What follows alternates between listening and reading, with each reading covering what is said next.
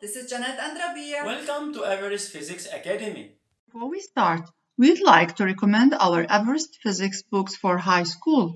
where you can find more explanations and solve applications and problems. In this video, we will verify experimentally the principle of conservation of linear momentum during collision between two objects. Now let's explain the procedure of our experiment. First, place a carbon paper on the air table. Second, set the spark timer at 20 milliseconds.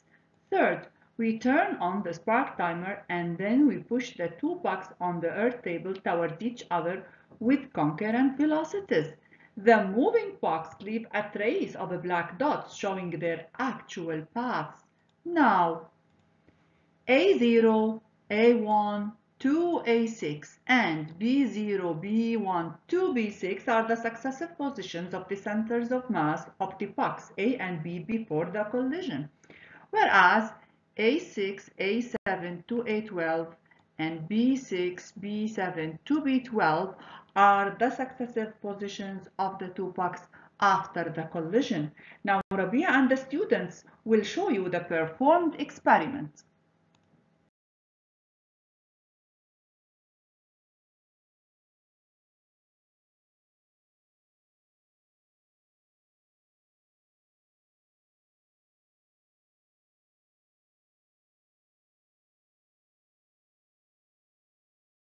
Before moving to the experimental verification of the conservation of linear momentum, let's prove this principle analytically. So our system is A, B, the two pucks.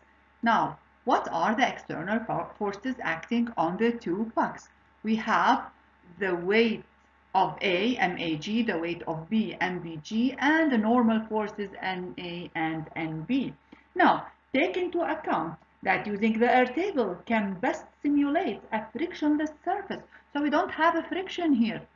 Now, these vertical forces do not participate in the horizontal motion of the pucks. So the vector sum of these forces is equal to zero. And therefore, we have an isolated system and its linear momentum is conserved. So P system initial before the collision is equal to P system final after the collision. Experimental verification. Now, we are going to verify experimentally that the linear momentum of the system two pucks is conserved during collision. So, we have to determine the linear momentum of the system before collision and that after collision and these two linear momenta should be equal. Now, let's start determining the linear momentum of the system before collision. Given tau equal 20 milliseconds, we know that tau is the time interval between two consecutive points, such as the time interval between A0, A1, between A1, A2, also between A0, B0, B1, B1, B2, etc. VAI. VAI is the speed of A before collision. Take a look at the trajectory of A before collision, which is A0 to A6. We notice that A0, A1 is equal to A1, A2, and also is equal to A2, A3 until A5, A6. So, we can conclude that the motion of A is uniform and it has a constant speed which is VAI. So in this case, VAI can be given by A0, A2 over 2 tau or A0, A6 over 6 tau. A0, A2 represents the distance between A0 and A2. A0, A6 represents the distance between A0 and A6. Here we have 2 tau since the time interval between A0 and A2 is 2 tau and here 6 tau because the time interval between A0 and 6 equal 6 tau. So if we use a ruler, we can measure the distance between A0 and 6 which is 4.8 centimeter. In order to get the speed of A in meter per second, we have to convert from centimeter into meter. So 4.8 centimeter is equivalent into 4.8 times 10 to the power minus 2 meter. Over the 6 tau, tau equal 20 millisecond, which is equivalent into 20 times 10 to the power minus 3. Finally, we get the result. The speed of A before collision is equal to 0.4 meter per second. Now for part B. VBI, VBI represents the speed of B before collision. Similarly, if we take a look at the trajectory of B before the collision, we can easily deduce that the motion of B is uniform and it has a constant speed VBI. VBI can be given by B0, B2 over 2 tau or B0, B6 over 6 tau. So if we use a ruler, we found that the distance between B0 and B6 is equal to 6.1 centimeter. So VBI equals 6.1 times 10 to the power minus 2 meter over 6 tau, which is 6 times 10 times 20 times 10 to the power minus 3 second. Finally, we get the speed of B before collision is equal to 0.508 meter per second. Now, after calculation VAI and VBI, we have to calculate the linear momenta of A and B before collision.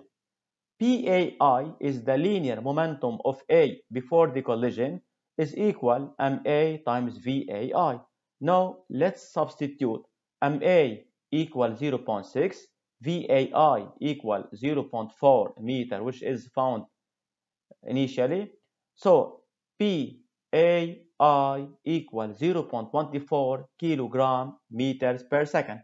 Similarly, the linear momentum of B before the collision is PBI equal MB VBI. If we substitute for MB equal 0.4 and VBI equal 0.508, we get PBI equal 0.2 kilogram meters per second. Focus, please. This is important.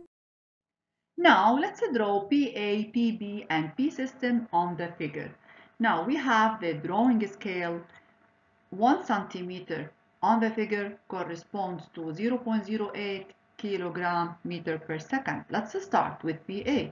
We have PA is equal to 0.24 kilogram meter per second. Using the cross multiplication method gives length of PAI is equal to 0.24 which is the magnitude of PA over 0.08 which is the scale and the answer is 3 centimeters. Now we want to draw PA on the figure. Take into account that PA is equal to MVA. So PA is in the direction of VA which is the same as that of motion. So we draw PA on the figure as you see in the direction of motion. Let's move to PB. We have PB initial is equal to 0.2 kilogram meter per second. Using the cross multiplication method gives length of PB initial is equal to 0.2 which is the magnitude of PB over the scale and the answer is 2.5 centimeter. Similarly, PB is in the direction of VB. Now, to draw the linear momentum of the system, take into account that P system is equal to the vector sum of PB and PA. So, we place the tail of PA on the head of PB and then we draw an arrow from the tail of PB to the head of PA. This arrow is P system.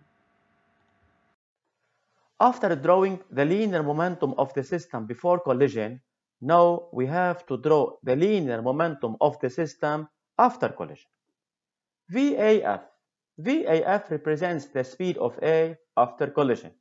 Take a look at the trajectory of A after collision we notice that the motion of A after collision is uniform. So VAF can be given using this formula A6 A12 over 6 tau. Using a ruler, A6, A12 is equal to 5.4 times 10 to the power minus 2 meter. 6 tau equals 6 times 20 times 10 to the power minus 3 second. Finally, the speed of A after collision is equal to 0.45 meters per second. Similarly, the speed of B after the collision equal to B6 B12 over 6 tau. Using a ruler, we found that this distance or the distance between B6 and B12 is equal to 5.9 times 10 to the power minus 2 meter. So the value of the speed of B after the collision is 0.49 meter per second. After the calculation of VA final and VB final, now we have to calculate the linear momenta of A and B after collision.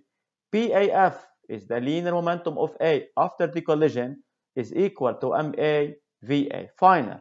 So let's substitute for MA equals 0.6, VA final which is 0.45 meter per second. So PA final or PA after the collision is equal to 0.27 kilogram meter per second. Similarly, the linear momentum of P after the collision is given by MB times VB final. MB equals 0.4, VB final equals 0.49 meter per second. So the linear momentum of P after the collision is equal to 0.196 kilogram meters per second. Now let's represent on the figure PA final, PB final and P system final. Of course, we will use the same drawing scale for the linear momentum. 1 centimeter on the figure corresponds to 0.08 kilograms meters per second. Let's start with PA final, whose magnitude is 0.27 kilograms meters per second. Using the cross multiplication method, gives length of PA final is equal to 0.27 which is the magnitude of PA final and over 0.08 which is the scale. The answer is 3.4 centimeters. So we draw PA final on the figure in the same direction of the A final and with a length of 3.4 centimeter now let's move to PB final whose magnitude is 0.196 kilograms meters per second. The cross multiplication method gives 0.196 kilograms meters per second over 0.08 the scale and the answer is 2.5 centimeters. Now we represent PB in the direction of VB with a length of 2.5 centimeters. Now, we want to draw P system final. You know that P system final is equal to the vector sum of PB final and PA final. Again, we use the head-to-tail method to add PA final and PB final in order to represent P system final. Now, after drawing P system before collision and P system after collision, we can notice that graphically these two linear momenta have the same magnitude since they have the same length as you see and also these two linear momenta have the same direction. Then P system before collision is equal to that after collision. Therefore, the principle of conservation of the linear momentum is verified. Thank you for watching. If you like this video, subscribe to the channel, hit the like button and share.